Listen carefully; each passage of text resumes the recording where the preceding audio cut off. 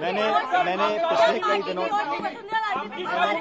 मैंने पिछले मैंने मैंने मैंने जो इश्यूज़ उठाए थे पब्लिक में पेपर लीक के इशू हम लोगों ने उठाए थे बहुत महत्वपूर्ण है जो यंग लोगों को प्रभावित करता है। हमारी जो पब्लिक सर्विस कमीशन है उसको हम कैसे रिफॉर्म करें उसको कैसे और पुख्ता बनाएँ कैसे पारदर्शी बनाएँ और जवाबदेही बनाएँ।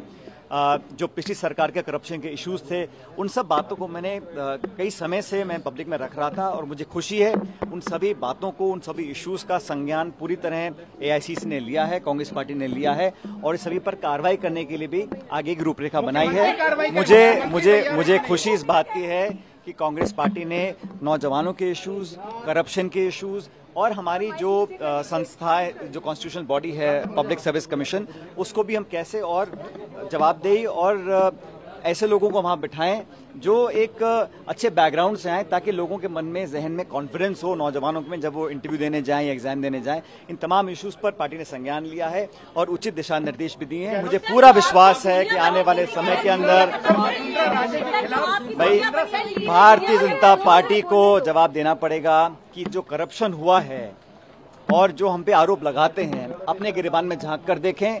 भाजपा के कार्यकाल में जो तमाम करप्शन हुए हैं उस पर सरकार गंभीर है और कार्रवाई भी करेगी। और मैं ऐसा मानता हूँ कि करप्शन एक ऐसा मुद्दा है जो जन जन को प्रभावित करता है। इस इशू को कांग्रेस पार्टी इलेक्शन इशू बनाएगी और उसको लेकर आगे जाएगी।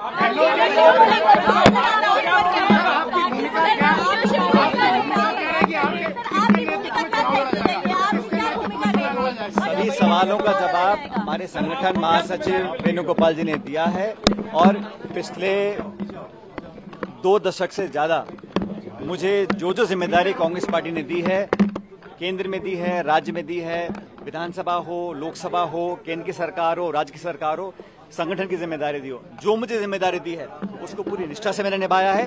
आने वाले समय में जो भी खड़गे जी राहुल जी हमारे एआईसीसी जो निर्णय लेगी जो आ, रोल मुझे अदा करना होगा उस पर जो भी हमारी पार्टी निर्देश करेगी उस पर हम काम करेंगे।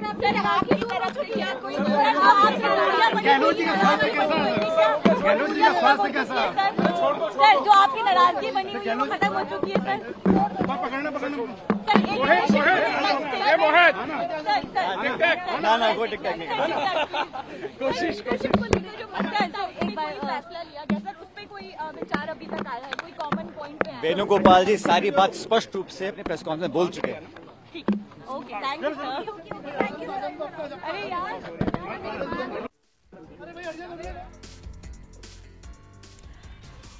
तो कांग्रेस की बड़ी बैठक राजस्थान को लेकर हुई है, जिसमें राहुल गांधी, मल्लिकार्जुन खड़गे समेत कांग्रेस के तमाम बड़े नेता मौजूद थे और अब वो बैठक खत्म हो गई है। और देखिए, कांग्रेस की बैठक खत्म होने के बाद सचिन पायलट का एक बड़ा बयान सामने आया है। उन्होंने कहा है कि साथ लड़ेंगे और सरकार बनाएँगे। आलाकमान ने मेरी बात को सुना है और मेरी बात को माना भी है।